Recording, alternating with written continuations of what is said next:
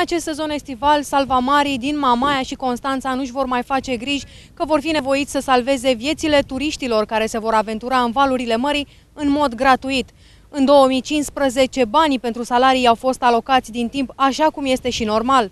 Autoritățile locale au demarat procedura de achiziție pentru încheierea contractului privind salvarea acvatică și prim ajutor pe plajele din Constanța și Mamaia. Documentul ar putea fi semnat până la 1 iunie, mai ales că fonduri există. Sunt fonduri alocate de la bugetul local, dar care vor fi recuperate de la Ministerul uh, Turismului.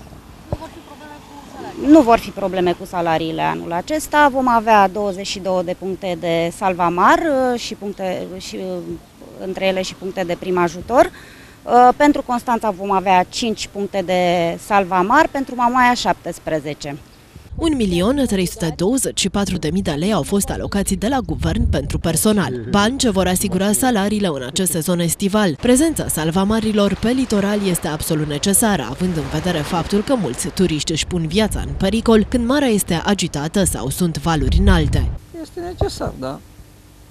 Dacă sunt și să-și facă și datoria și să fie și plătiți. Anul acesta le-au fost deja alocați banii pentru salarii. Cum vi se pare acesta? Să nu fie numai vorbe. Când e vorba să le dea salariul, ia mână câte două, trei luni. În ultimii ani, Salvamari a organizat mai multe acțiuni de protest ca să-și recupereze banii pentru care au muncit în lunile de vară.